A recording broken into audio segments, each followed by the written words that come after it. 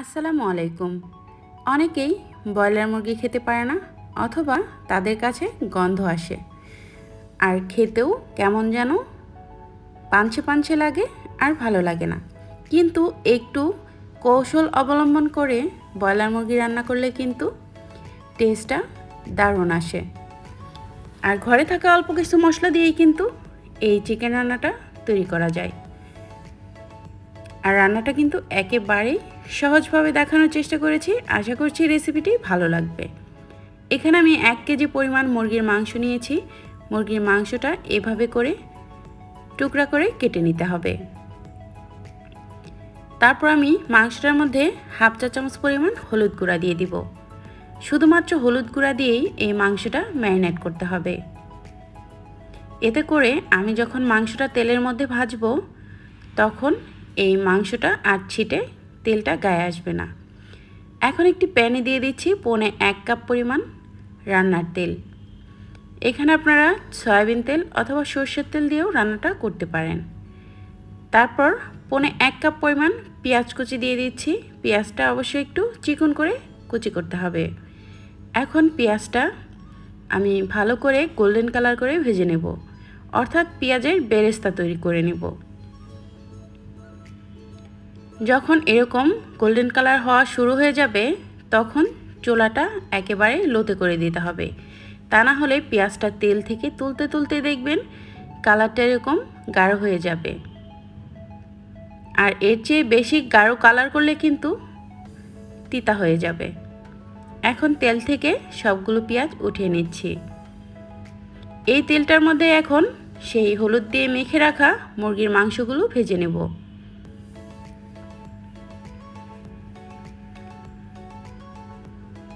সবগুলো মাংসই আমি একসাথে দিয়ে এখন এই মাংসটা ভেজে নেব।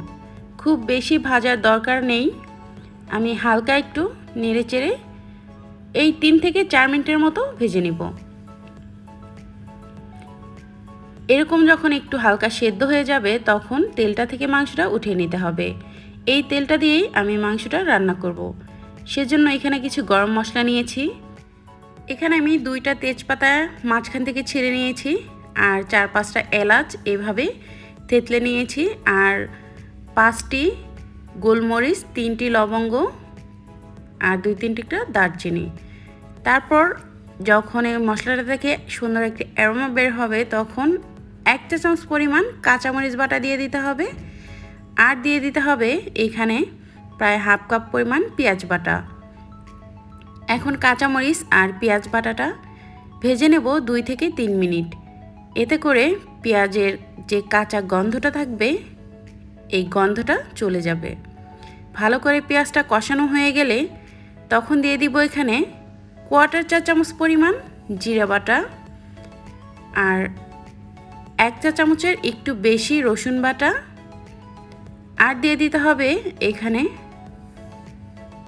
আদা বাটা আদা বাটাও আমি এক চা চামচের একটু বেশি নিয়েছি। এখন এই আদা রসুনটাকেও ভালো করে আমি কষিয়ে নিব। এই মশলাটা কষানোর উপর কিন্তু নির্ভর করে রান্নাটা কেমন টেস্ট হবে। প্রায় রেসিপিতেই কিন্তু আমি এই কথাটা বলি। কারণ মশলা থেকে যদি কাঁচা গন্ধটা যে কোনো মাছ মাংসের মধ্যে যায়, তাহলে কিন্তু খেতে ভালো লাগে না। এখন দিয়ে দিব পরিমাণ মতো লবণ। দিয়ে দিচ্ছি শুকনা মরিচ গুঁড়া, দেড় চা চামচ, এক চা চামচ দিয়ে দিচ্ছি হলুদের গুঁড়া, এক চা চামচ দিয়ে দিচ্ছি ধনিয়ার গুঁড়া। এখন এই মশলাটাও দিয়েও আমি ভালো করে আবারও মশলাটা কষিয়ে নিব। চুলার আঁচটা এ পর্যায়ে মিডিয়ামে রাখতে হবে। তা না হলে মশলাগুলো নিচে থেকে পোড়া লেগে যাবে। এখন ভালো করে নেড়ে চেড়ে মশলাটা কষিয়ে নিচ্ছি প্রায় পাঁচ মিনিটের মতো। একটা সময় দেখবেন এই মশলার তেলগুলো উপরে চলে এসেছে আর মশলাটা এরকম ঝালমুড়ি মশলার মতো ভুনা ভুনা হয়ে যাবে।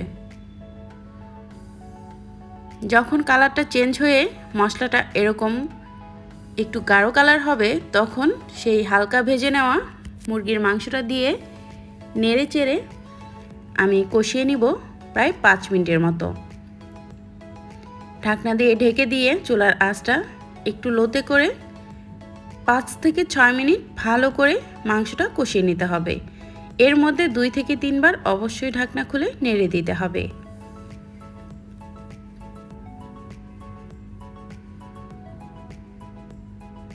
যখন মাংসটা এরকম ভালো করে কষানো হয়ে যাবে, তখন দিয়ে দিচ্ছি পনে এক কাপ পরিমাণ পানি। মাংসটা আমি ঝোল রাখব না এর জন্য একটু কম পরিমাণ পানি দিতে হবে। আর এখানে ব্রয়লার মুরগিতে পানি কিন্তু কম ব্যবহার করবেন, কারণ এটা দ্রুত সেদ্ধ হয়ে যায়। দশ মিনিট রান্না করার পর আমি দিয়ে দিচ্ছি ভেজে রাখা পেঁয়াজ বেরেস্তা। এই বেরেস্তার কারণে এই রান্নাটা কিন্তু অনেক টেস্ট হবে। সেজন্যই এই রান্নাটার নাম কিন্তু চিকেন বেরেস্তা কারি। আশা করছি বুঝতে পারছেন। নামানোর দুই তিন মিনিট আগে দিয়ে দিয়েছি তিন চারটা কাঁচামরিচ। কাঁচামরিচটা দিয়ে আমি আবারও ঢাকনা দিয়ে ঢেকে রান্না করছি দুই থেকে তিন মিনিট। দুই তিন মিনিট পর আমি চুলাটা বন্ধ করার এক মিনিট আগে সামান্য এক টেবিল চামচ পরিমাণ চিনি দিয়ে দিচ্ছি। এতে করে রান্নার কালারটাও সুন্দর হবে আর খেতেও খুবই মজার হবে। এখন চুলাটা বন্ধ করে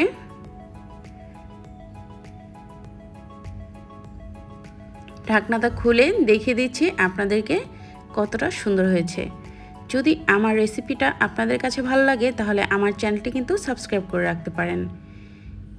এই মজাদার চিকেন বেরেস্তা কারি কিন্তু লুচি, পরোটা, রুটি এবং কি পোলাওর সাথে খেতে অনেক মজার। আশা করছি আমার রেসিপিটি আপনাদের কাজে আসবে, ভালো লেগেছে।